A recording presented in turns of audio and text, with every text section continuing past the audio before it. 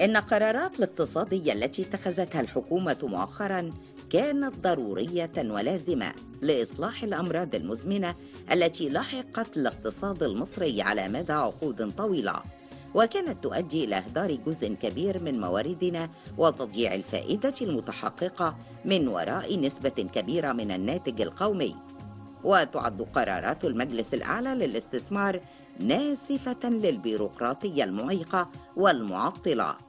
وتراعي الأبعاد الاجتماعية والتنموية في الصعيد وغيرها.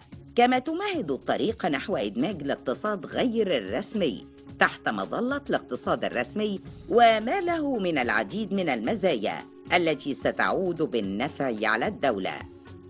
كما أن قرار تحرير سعر الصرف وفق آليات العرض والطلب سيعود بالنفع والفائدة على الجميع ويمكن لقطاعات كثيرة الاستفادة منه بل هو وكما قيل بداية إصلاح اقتصادي حقيقي. وتعد قرارات الاقتصادية التي اتخذتها الحكومة بتحريك أسعار دعم المنتجات البترولية تهدف إلى تخفيف الضغط على الموازنة العامة وذلك في ظل ارتفاع أسعار النفط عالمياً حيث أنه بالرغم من قرار تحريك الأسعار إلا أن تكلفة دعم المحروقات قد ارتفعت في الموازنة العامة للدولة. إن حزمة القرارات الاقتصادية الصادرة مؤخراً عبرت عن واقع اقتصادي جديد كان ضروريا في اللحظة الراهنة. وقد جاءت نتيجة سياسات اقتصادية محددة تهدف إلى تقليل عجز الموازنة والمحافظة على الاحتياطي النقدي والعمل على زيادته وتشجيع الاستثمار والإنتاجية والتصدير مما يؤثر بالضرورة على دعم الموازنة العامة للدولة.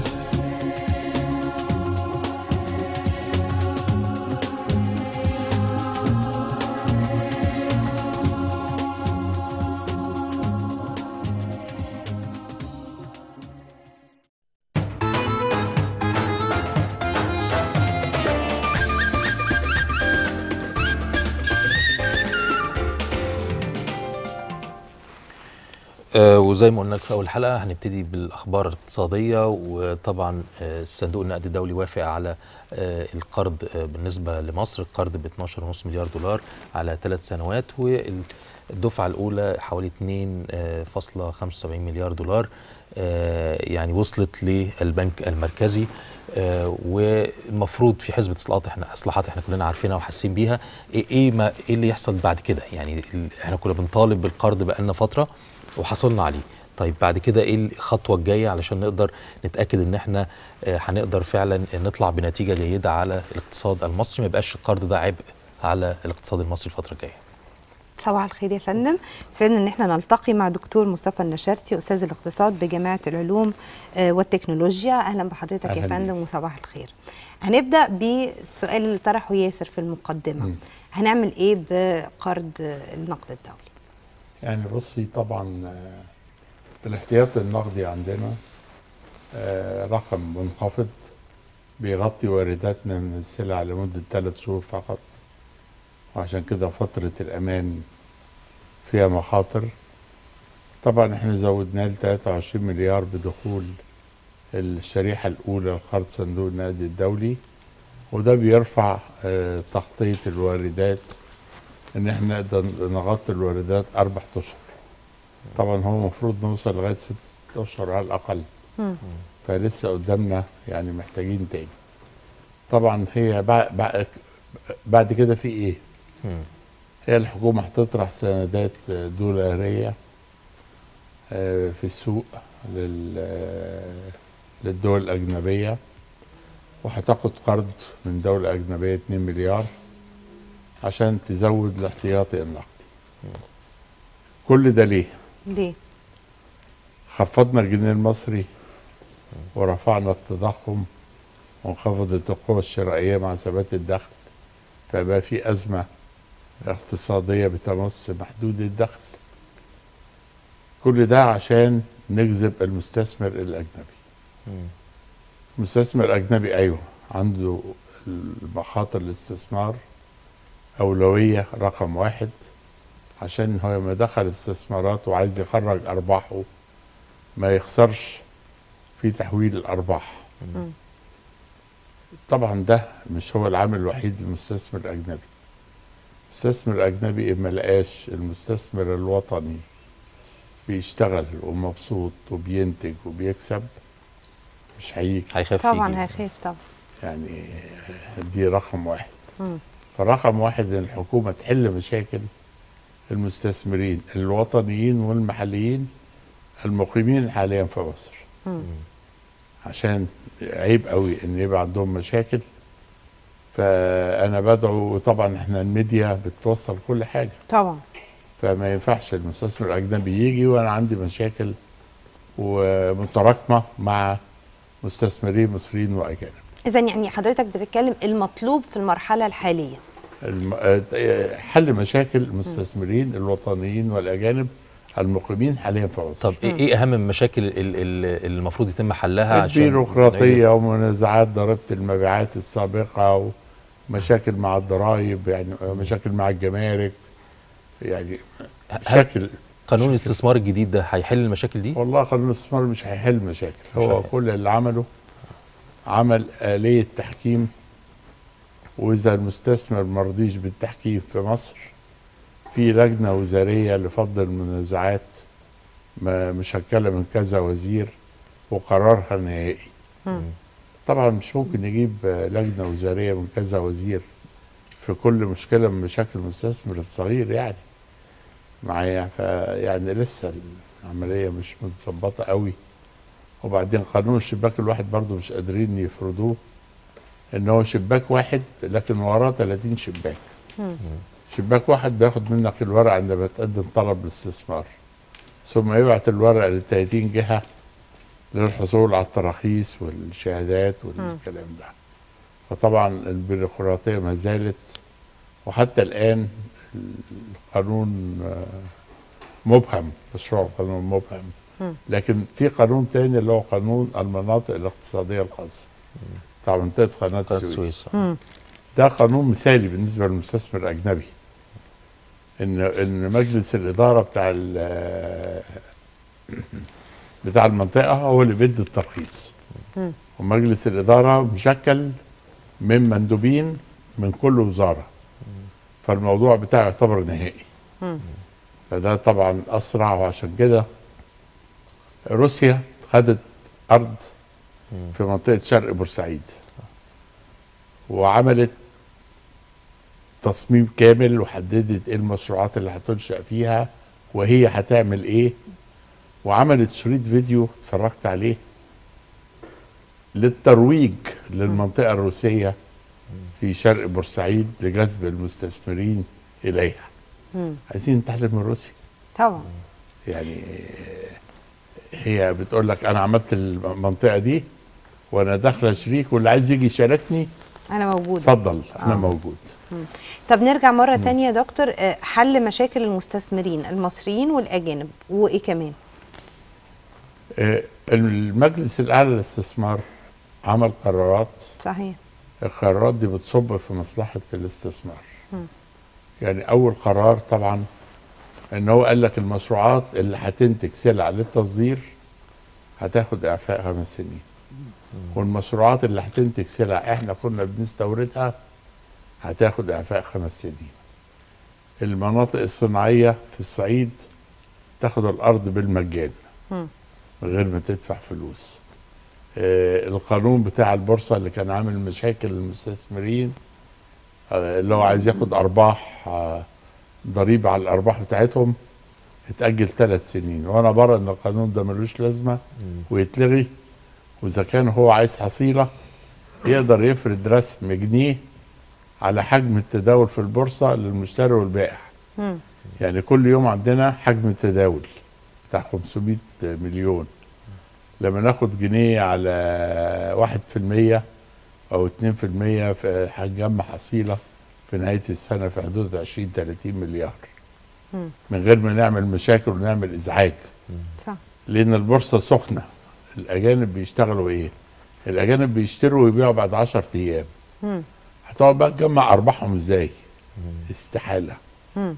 يعني هو داخل يشتري وكسب مكسب صغير يبيع ويشتري تاني المصري لأ المصري بيشتري ويسيبه ويسيبوا شوية ويستنى ما ياخد الأرباح فالعقليه الاجنبي 60% من تعاملات البورصة أجانب. وعلى فكرة البورصة برضو وإجراءاتها هي اللي بتجذب المستثمر الأجنبي.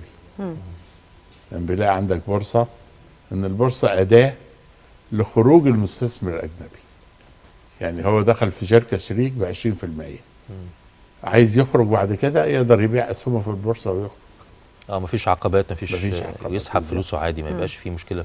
طب هل آه، ال- اللي حصل امبارح في صندوق النقد ودلوقتي الفلوس اللي هتيجي من من الدول المانحة هل ده هينزل الجنيه الفترة الجاية إن المواطن العادي أكيد ده بالنسبة له مهم الجنيه أحواله إيه اليومين الجايين بص هو الجنيه خد ضربة قاضية يعني وهم كانوا عاملين فاكرين سعر 13 آه، هيستقر عليه أسبوع مم.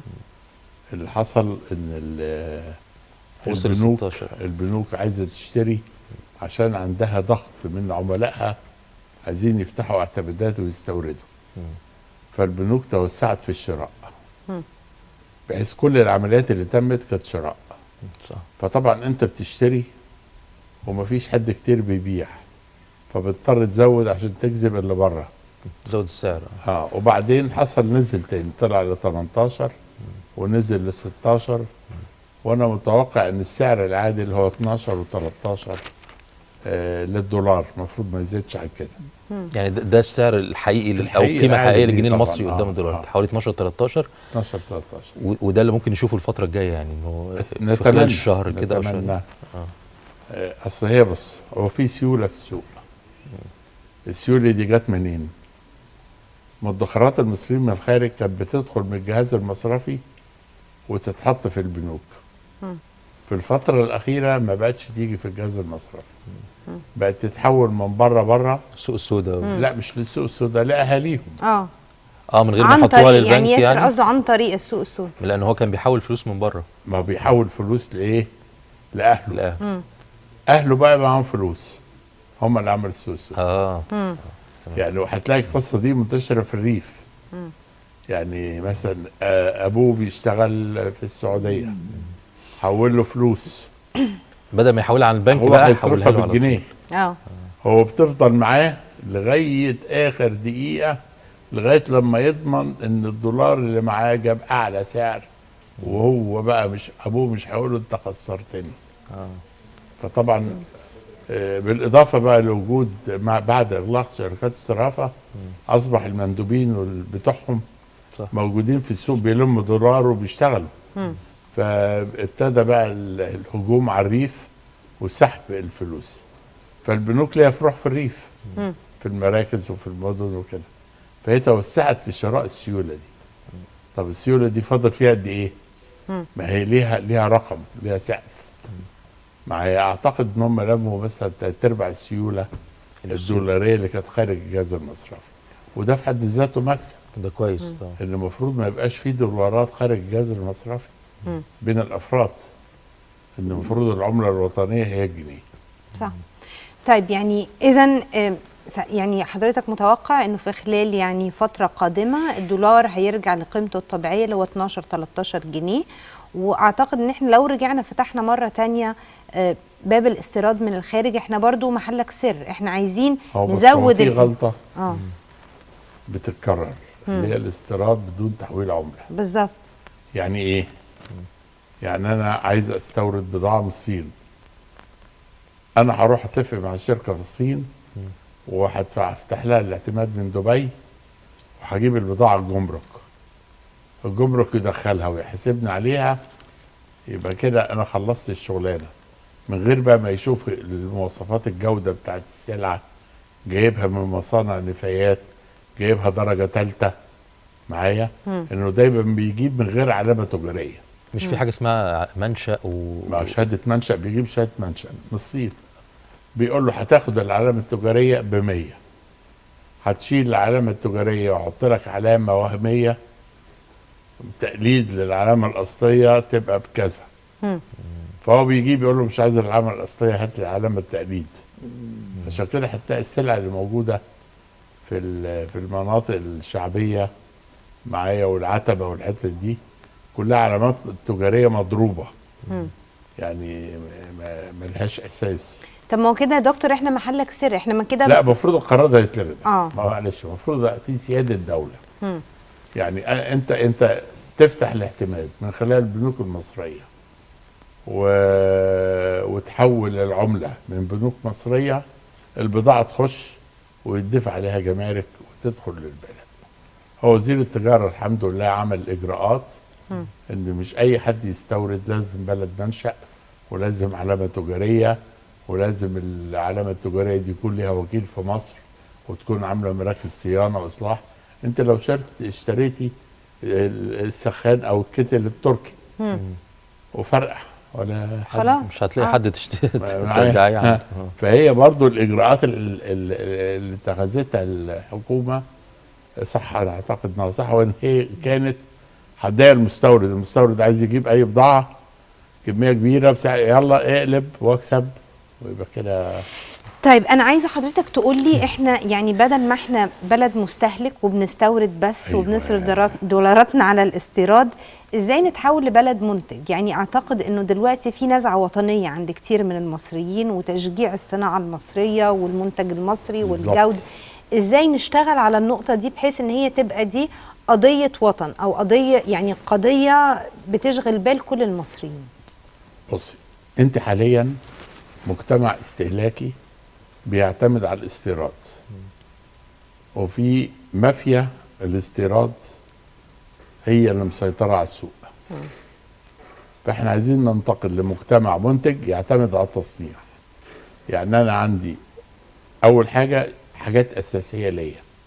في الملبس والمسكن والغذاء والمباني والسكن. يبقى أنا بعمل صناعات استراتيجية التصنيع بتاعت الدولة بتعتمد على اشباع الحاجات الأساسية للمواطن. يبقى السلع الاستراتيجية زي السكر آه يبقى رقم واحد. يبقى عندي عند الإنتاج المحلي ما بيكفيش الاستهلاك. يبقى أزود الإنتاج. طبعا. يبقى ده هدف. مم. يبقى المفروض الدولة ما تلجأش للاستيراد عشان تحل مشاكل. ثانيا القمح إحنا لما دعمنا الفلاح المصري واشترينا منه القمح قل الصدر التص- الاستيراد. بتاعنا من القمح آه عندنا ال- اللحوم طب ليه أنا ما اعملش إحياء مشروع البتلو إن أنا آه، أشتري الأبقار الصغيرة من بره وأوديها الفلاح يربيها معايا ويكسب هو وأنا أكسب بدل ما أستورد لحوم مجمدة من البرازيل. فإحنا لازم نكون شعب منتج. وبعد كده أنا ما- عايز أصدر.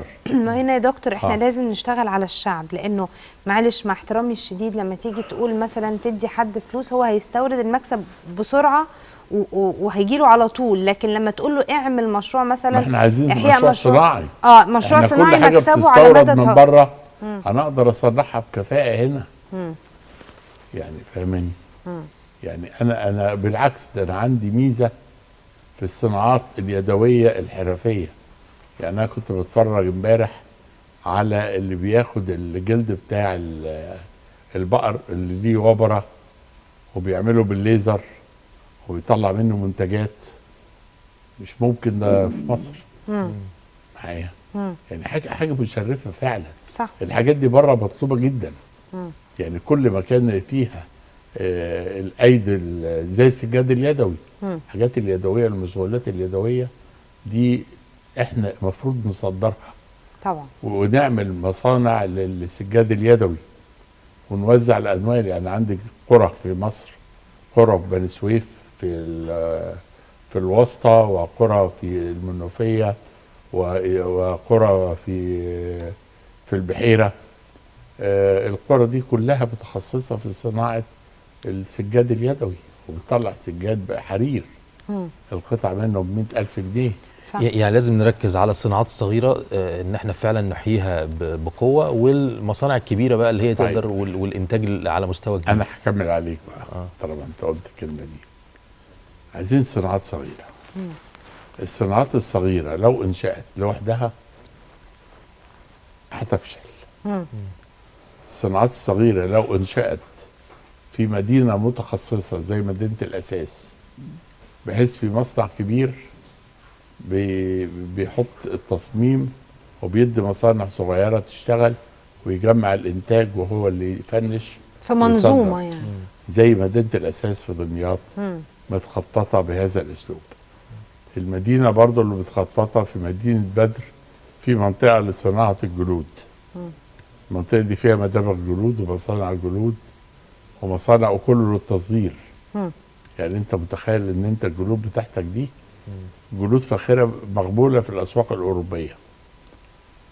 فدي مدينتين. يبقى إحنا المفروض ننمي هذه الحضانات صناعة السيارات. انت شركة هونداي قررت تنتج ضفيره السيارة. ضفيره السيارة الكهرباء دي آه أنا عندي كان عربيه حصل فيها خلل في الضفيرة. آه يعني دي أنا خلاص باظت واضطريت أجيب واحدة غيرها. فالضفيرة بتاعت السيارة دي تكنولوجيا بسيطة لكن مهمة جدا لكل صناعه السيارات ففي أول مصنع مصري لصناعة ضفيرة الكهرباء بتاعت السيارات. فانت كل ما تصنع اجزاء السيارات وترفع المكون المحلي منها كل ما شركات تجميع السيارات هتجيلك وتجمع عندك بدل ما تروح للمغرب. إحنا فقدنا رينو وفقدنا تويوتا. كانوا جايين مصر وراحوا المغرب للأسف. لتاخير ال- الإجراءات بتاعة المنطقة الاقتصادية في قناة السويس. طيب قبل ما نختم لأن الوقت جري بسرعة مع حضرتك يا دكتور حضرتك شايف إنه مردود القرارات اللي تم اتخاذها مؤخرا القرارات الاقتصادية هتعود بالشعب على بفايدة على الشعب المصري في خلال قد إيه؟ يعني المواطن العادي في الشارع يبدأ يحس بمردود كل المجهود اللي بيحصل ده إمتى؟ بصي الاستثمار متوسط وطويل الأجل. يعني لو قلت حامل صناعة مش قبل ثلاث سنين. آه بس كويس إن أنا يبقى عندي ثلاث سنين أنا في أزمة بس بعد ثلاث سنين أنا في رخاء. بالظبط بالظبط. فأنا مفروض اصارح الشعب. يعني في صناعات بدأت في هضبة أبو طرطور لتصنيع حمض الفوسفوريك والأسمدة الفوسفاتية واليورانيوم. طبعا ده مشروع هيصدر بألف بمليار دولار سنويا. يعني ده مشروع عملاق.